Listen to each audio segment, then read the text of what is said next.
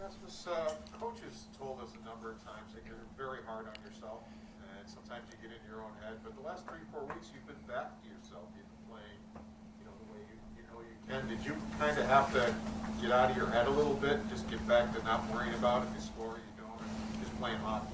Yeah, hundred percent. I think you uh, you said it right there. Uh, I'm I'm always uh, hard on myself and trying to get better, and you know, always want to perform at hundred percent and at my best. And yeah, like you said, I've been in my own head a little bit, and uh, obviously it's it's tough when you're not score for, for 50 games when that's the expectation on you. Uh, so yeah, uh, I think since since All Star break, I, I've been really finding myself again and, and playing the way I should.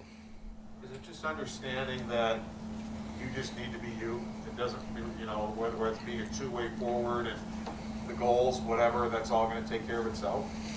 Yeah, yeah, and for me, you know, I need to find a really high lowest standard, if you know what I mean. Like, I need to come in every night, and Donnie needs to know what he gets from me every single night. Even if I have a good night or a bad night, he needs to know what he gets from me, and, and that's the important thing for me as a player. And you know, it's my first full season in NHL too, and the last two seasons I've been struggling too with after 30 games, I'm getting mentally tired. I'm a little physical tired. So I think it's just been for me just figure out how to be an NHL player for a full 82 games, and I think I'm starting to, you know, find the key things to to be that that type of player.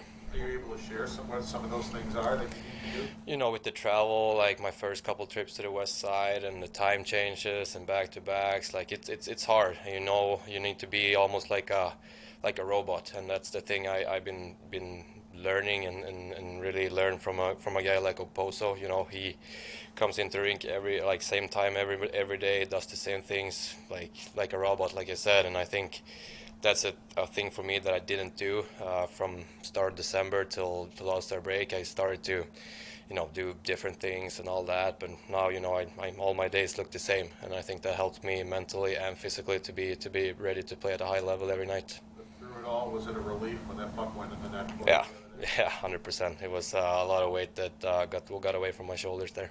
What, what's been your view on what's made this team closer um, this year? Just just the bond that you guys seem to be having fun playing hockey.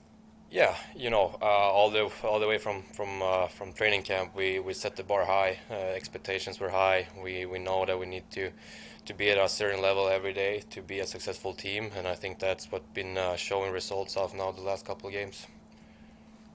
As far as your your goal drought, what was what was the mental toll? I guess you were kind of talking about it, but just when you've scored your entire life, as we've kind of talked about, I mean, it's not it's, it's not easy to, to go that long. I'm sure.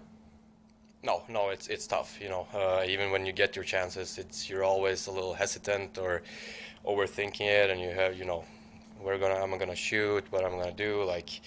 It's just stuff that gets stuck in your head, you know, and it's hard to get rid of. But you know, once you score like I did two games ago, it's it goes away like like that. So, you know, it's tough, but it goes away quick too. How beneficial is it, Rasmus, that you don't have a coach who's going to put you in the press box and make you watch a game because you have a difficult one? I mean, Donnie, with you or any of the other young guys, he lets you sort of he lets you play through it, and there's a different approach to him teaching you guys that this is what you need to do to have success in the NHL. Yeah, yeah, and that helped me a lot, and I'm I'm, I'm grateful for it too. You know, uh, I think, like you said, if Donnie doesn't have the approach he's having to to all of our younger guys, you know, I will probably be in the pre- press box for a couple of games during this stretch that I didn't score. So I'm I'm grateful for that, and you know, I'm I'm glad that I've been figuring it out and, and playing well now. Thanks. Right, thank.